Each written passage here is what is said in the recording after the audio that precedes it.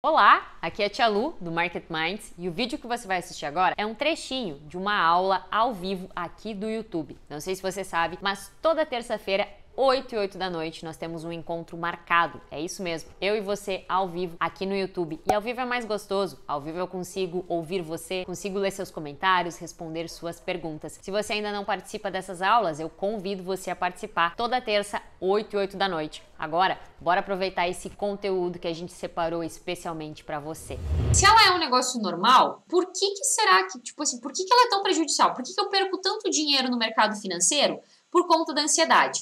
Tá? Por causa disso aqui, ó. A ansiedade é normal. A quantidade ou a frequência e a intensidade com que os estados emocionais alterados acontecem em você é o grande vilão, tá? Não é a ansiedade por si só, mas é a quantidade, a frequência e a intensidade que esse estado emocional alterado da ansiedade ele acontece em você. E essa quantidade desses momentos, essa frequência com que esses momentos de ansiedade alterada elas acontecem, é que é o grande vilão. E isso tem responsabilidade em quê? Qual que é a raiz, né, desses momentos alterados de ansiedade? Qual que é a raiz? Por que, que a gente sente tantos esses momentos? Primeiro fator que causa grande parte, muitos, né? Que causa muitos desses momentos. Genética a culpa é da genética, sim, mas não comece a xingar o pai e a mãe antes de você começar a xingar seu pai e sua mãe, seus avós, entendam que eles também são fruto da genética, tá? Eles não têm culpa nenhuma e eu tenho certeza disso. Genética, sim. Tá? Algumas pessoas têm uma propensão maior a sentir ansiedade do que outras, tá bom? Então, grande parte, ou, né, não digo grande parte, mas muitos momentos tem sim essa raiz da genética tá bom? Outra grande fonte da raiz da nossa ansiedade: condicionamento. O que, que é condicionamento? A sua criação e influências externas. Isso vai interferir diretamente na sua percepção da realidade. Condicionamento, a forma como os seus pais te criaram, sim, pode ser algo que gera muita ansiedade em você. Aquilo que você viveu na sua infância, na sua adolescência, as influências que você teve dos seus pais, dos seus tios, dos seus avós, dos seus familiares, dos seus amigos, é, da professora do colégio, né, de, de tudo isso pode sim ter condicionado você a ter mais ansiedade ou não, a sofrer mais com isso ou não, tá? E novamente, antes de você começar a xingar pai, mãe, tio, tia, avô, avó, entenda que eles fizeram o melhor que eles podiam com as ferramentas que eles tinham, tá? Eles também são frutos de outra criação. Talvez eles não foram ensinados, talvez eles nunca tiveram a oportunidade de, de, ter o contato com esse conhecimento que vocês estão tendo agora, né? Então eles não sabiam disso. Tenho certeza que eles estavam fazendo o melhor que eles podiam. Então, vamos né, honrar e respeitar pai e mãe, independente de tudo que aconteceu, e vamos entender que, ok, temos muita ansiedade por conta do nosso condicionamento, criação, influências externas, percepção da realidade, né? Mas beleza, isso aí é algo que a gente consegue trabalhar. Esse quesito do condicionamento a gente pode sim reverter e pode sim modificar. Quando a gente trabalha reprogramação mental, a gente trabalha fortemente nisso aqui. E aí, Outra coisa que gera, que é a raiz da nossa ansiedade, é uma mudança cultural. Somos uma sociedade ansiosa. O que, que eu quero dizer com isso? Vamos fazer uma reflexão aqui para a gente entender esse aspecto que é muito importante, tá bom? Você já reparou que antigamente, no tempo dos nossos dos nossos avós, principalmente, talvez até no tempo dos pais de vocês, mas principalmente no tempo dos nossos avós, não tinha tanta ansiedade.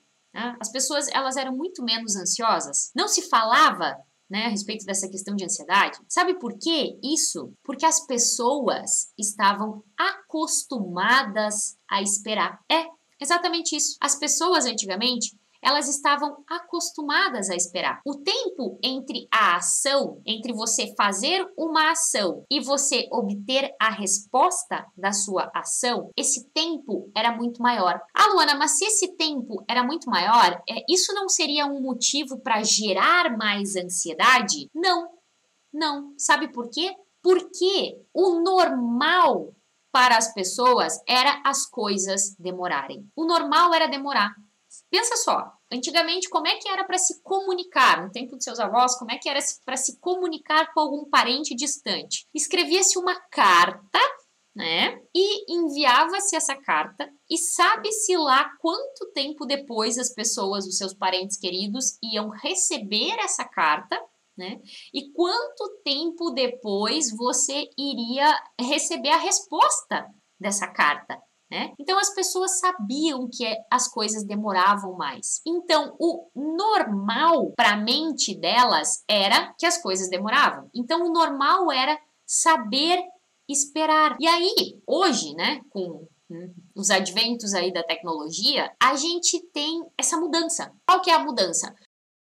Hoje em dia, a percepção que a gente tem de que o tempo entre a gente fazer uma ação, qualquer ação na nossa vida, e a gente obter uma resposta daquela ação é instantâneo, é muito rápido. Pensa só, hoje você pega e manda uma mensagem para alguém que está do outro lado do mundo, né? Em questão de fração de segundos, essa pessoa recebe essa mensagem, essa pessoa responde essa mensagem. A gente criou-se essa falsa ideia de que as coisas são instantâneas, de que as respostas todas são rápidas. E com o passar do tempo, com o passar aí dos anos, das décadas, houve essa mudança na nossa percepção mental, inclusive coletiva, tá? Essa mudança de percepção de que é tudo é rápido. Só que não é assim. Grande parte das coisas na nossa vida ainda requer um tempo muito grande para realmente acontecerem. É só você pensar na sua no seu desenvolvimento como trader. Quanto tempo você já está no mercado financeiro para se desenvolver como trader e você já tem os resultados que você gostaria, e você sabe que tem que ser uma trajetória. Só que com essa mudança de percepção a respeito da velocidade em que você faz a ação e você tem o resultado, a gente mudou, né? O que para nossa mente é normal. Antigamente o normal para nossa mente era saber, era esperar. Atualmente, o normal é ter respostas rápidas. E nesse ter respostas rápidas, a gente começa a gerar ansiedade quando a gente não tem a resposta rápida. Por isso que a gente fala, né? Augusto Cury já diz que ansiedade é o mal do século. E por que, que é o mal desse século e não era o mal do século passado? Por conta disso, por conta dessa mudança de percepção a respeito do tempo. E é muito importante a gente trabalhar, é muito importante que vocês entendam esse conceito. Muitas coisas que a gente vai trabalhar de agora em diante para controlar a ansiedade vão ter base nisso. Então precisa entender essa mudança de percepção do tempo.